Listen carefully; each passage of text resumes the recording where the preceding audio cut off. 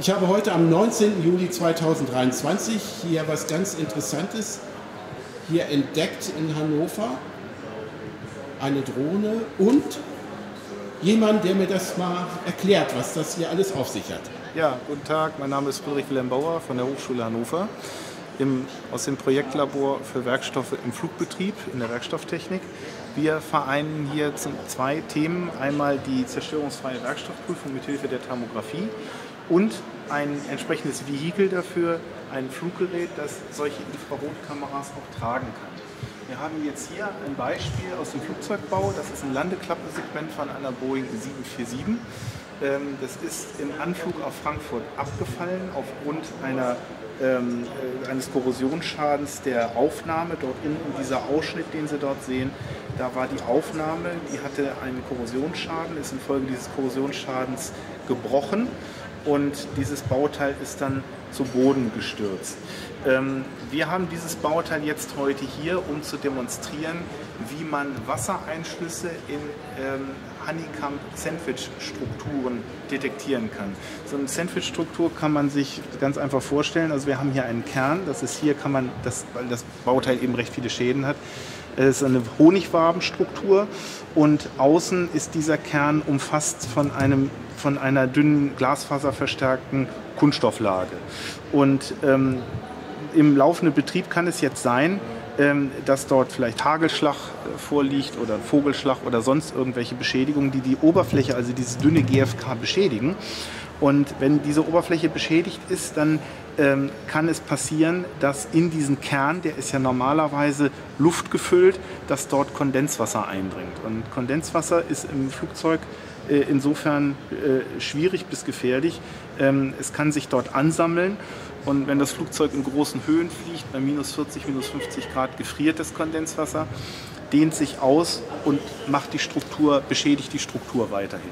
Und es ist jetzt eine Standardprüfung oder Standardprüfverfahren im Luftfahrtbereich, dass man mit einer Infrarotkamera, wie wir sie hier stehen haben, und einem Heizlüfter, wir haben jetzt hier mal einen ganz normalen Haushaltsföhn, aber der erfüllt diese, diese Aufgabe ganz gut, mal bei diesem Bauteil ex exemplarisch demonstrativ mal so eine Wasser- oder so eine thermografische Prüfung auf Wassereinschlüsse machen. Ich muss dazu sagen, natürlich haben wir das Bauteil vorher präpariert. Wir haben das natürlich äh, bei uns auch in der Lehre im Labor im Einsatz. Und diese roten Kreise, Kringel, die Sie hier sehen, die haben Studenten gesetzt, weil sie da eben diese Wassereinschlüsse, die von uns eingebracht worden sind, gefunden haben. Und wir können jetzt hier das mal bei diesem hier mal demonstrieren. Ich mache mal die Lüfter an. Hier haben wir den, das, den Monitor der Infrarotkamera. Die Oberfläche wird erwärmt was wir hier sehen, sind mehrere dunkle Punkte. Ähm, die Oberfläche, also das GFK, äh, ist ja sehr dünn und darunter der Honigwabenkern, die sind ja normalerweise luftgefüllt. Das heißt also, die werden sehr schnell sehr warm durch den Heizlüfter. Das Wasser, was da drin ist, hat eine höhere Wärmekapazität als Luft und deswegen bleibt das kühler und kühlt so auch in dem Bereich die Oberfläche runter. Deswegen können wir hier einen schönen hell-dunkel-Kontrast sehen. Und das ist eine Prüfung, wie man sie in der Luftfahrtindustrie machen kann, um solche Strukturen zu überprüfen, auf Wassereinschlüsse zu überprüfen. Man kann das Ganze nicht nur stationär machen, so wie wir es hier machen, man kann das auch mit so einem Fluggerät machen, kann die Infrarotkamera an so ein Fluggerät bringen und damit ein Flugzeug abfliegen und solche Teile, es äh, muss ja kein Landeklappensegment sein, kann auch ein Seitenruder sein, wo wir dann in entsprechende Höhen müssen, das entsprechend prüfen. Ja, und äh, das macht man dann auch mit der Drohne, die können Sie das mir kann ja man dann zeigen. Der, kann man dann mit so einem Hexakopter machen, wie wir ihn hier stehen haben. Das ist also unser Vehikel, um Prüfgeräte zu tragen. Hexakopter deswegen, er hat sechs Rotoren und äh, Sie haben das ja vorhin schon mal gefragt, wie das mit der Ausfallsicherheit ist. Es kann ja immer mal sein, dass ein Motor ausfällt. Und äh, uns ist wichtig, wenn wir solche Prüfungen machen, dass uns das Fluggerät nicht gleich vom Himmel fällt. Wenn ein Motor ausfällt bei so einem Hexakopter, kann man den immer noch stabilisieren und sicher zu Boden bringen. Das kann man aber nur, weil der eben sechs Rotoren hat. Bei einem Gerät mit vier Rotoren wird das schon wesentlich schwieriger. Das ist ein normaler Quadrocopter, den wir da haben. Das ist ein industrieübliches Modell. Das ist ein Eigenbau hier, den Studenten äh, für uns gebaut haben. Äh, einfach aus dem Grunde, damit wir in der Lage sind, hier unterschiedliche Nutzlasten drunter zu setzen, also sprich auch eine Infrarotkamera, mit der wir Werkstoffe oder Bauteile prüfen können, wie zum Beispiel Luftfahrtbauteile, Seitenruder von Flugzeugen, die natürlich in entsprechenden Höhen sind, wo man dann ganz einfach oder relativ einfach mit einem fliegenden Gerät drankommt. Das ist so dann die Aufgabe. Also sozusagen äh, die Werkstoffprüfung kombiniert mit der luftgestützten Prüfung, zusätzlich dann noch die Beschäftigung mit der Betriebssicherheit von solchen Fluggeräten, weil wir natürlich nicht möchten, dass das Gerät dann im Betrieb runterfällt, kann äh, Personen gefährden, gegen äh, Sach Sachbeschädigungen führen und das möchten wir nicht und deswegen habe ich hier den zweiten Hut auf. Ich habe äh, im VDI vertrete ich den VDI-Fachausschuss für unbemannte Luftfahrtsysteme und da beschäftigen wir uns mit der Betriebssicherheit von solchen Fluggeräten. Das ist also ein Paket, was wir hier darstellen. Ja. Und äh, dieser ganze Aufgabenbereich, den halten Sie für sehr interessant, haben Sie mir vorhin gesagt. Ja, natürlich.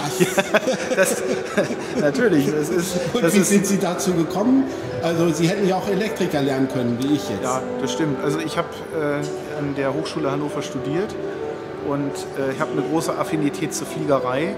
Und ich habe jetzt durch diese Kombination mit den unbemannten Luftfahrzeugen sozusagen mein Hobby zum Beruf gemacht. Also mir geht es sehr gut. Also Hobby zum Beruf, das, das merkt man. Und das ist auch wirklich, äh, macht dann auch Spaß. Ne? Das, das macht in der Tat Spaß, ja. Also ich, ich liebe Luftfahrzeuge und deswegen stehe ich auch hier, weil ich auch, das ist nochmal so, ein- so, ein- so, ein- so ein anderer Grund, äh, es wird ja, geht ja immer, Fliegerei ist ja immer recht negativ belastet in den aktuellen Berichterstattungen. Ja. Und ich möchte einfach sagen, also Fliegerei hat durchaus ihre Existenzberechtigung in vielerlei Hinsicht. Es gibt auch viele Arten der, der Fliegerei, viele Arten von Luftfahrzeugen. Und äh, ich trete auch dafür ein, dass man auch vieles mit Augenmaß betrachten sollte, nicht alles verteufeln sollte. Mit Augenmaß. Ja. Mit Augenmaß oder der Kamera. Augenmaß oder der Infrarotkamera, ganz genau. Ne? Der UV-Lichtkamera ist das. Eine Infrarotkamera. Infra- genau, Infrarot. Ja, genau. Mhm. Die Sie da sichtbar machen. Und Sie haben vorhin gesagt, ähm, bei den Windrädern äh, kann man bis zu einer Entfernung äh, von Also wir können mit dieser Kamera können wir auf Windkraftanlagen Rotorblättern im laufenden Betrieb können wir Oberflächenschädigungen feststellen. Diese Oberflächenschädigung, wir können ja, können ja mal ganz kurz rübergehen. Ich habe jetzt die Kamera hier, aber das können wir auch mal so erklären. Das ist jetzt, das ist so ein, so ein anderer Bereich, was wir noch machen, Windkraft. Ähm, hier haben wir eine Rotorblattspitze einer 2,5 Megawatt Windkraftanlage und ähm, so eine Anlage im Betrieb, die ist ja der Witterung ausgesetzt, die ist ja hier ist in der Luftströmung drin. Das heißt, wir haben an der Vorderkante können wir Erosionsschäden haben, wir können Einschlagschäden haben und hier haben wir mal so einen künstlichen Schaden eingebracht und wenn man diesen Schaden ähm, jetzt im, kann man im laufenden Betrieb der Windkraftanlage feststellen, indem man äh, die Infrarotkamera auf das Rotorblatt richtet und eine Aufnahme macht. Wie kommt der zustande? Das Rotorblatt wird von der Sonne aufgeheizt und dieser Schaden hier, der verwirbelt die Luft. Normalerweise streicht die Luft ja laminar über diesen Flügel. Das heißt, also dieses laminare, äh, diese laminare Luftströmung äh, ist so eine Art, ähm, wollen wir sagen, ähm, sorgt dafür, dass nicht so ein Temperaturausgleich mit der, mit der umgebenden Luftströmung stattfindet. Dieser Schaden hier verwirbelt diese Luftströmung und kühlt damit die Oberfläche ab. Sie haben einen Wind, so eine Art Windschatten auf der Infrarotaufnahme. Das ist so ein dunkler Schatten, der sich hinter diesem Hindernis oder hinter dem Schaden ausbildet, kann man detektieren. Das kann Schmutz sein, das kann aber auch ein, ein kapitaler Oberflächenschaden sein. Und wenn Sie sowas auf, der, auf, dem, auf dem Rotorblatt haben, kann es sein, dass der Ertrag dieser Windkraftanlage zurückgeht. Und das will man nicht. Man möchte ja, dass die äh, möglichst, ähm, möglichst effizient arbeitet. Und dann kann es nötig sein, dass man von Zeit zu Zeit mal die Rotorblätter instand setzen muss oder reinigen muss, je nachdem. Das und äh, ohne eine. Drohne einzusetzen, bis zu welcher Entfernung? Sie hatten es vorhin gesagt. Ja, wir sind da in einer Entfernung, wenn wir vor der Anlage stehen, die läuft und machen Aufnahmen, 120, 130 Meter Entfernung sind wir da. Da kann man die auswerten. Kann man das sehen? Natürlich ist die, wollen wir sagen, die geometrische Auflösung ist natürlich sehr mäßig auf die Entfernung, aber wir können solche Schäden feststellen. Ja, sehr interessant. Vielen Dank fürs Interesse. Ja.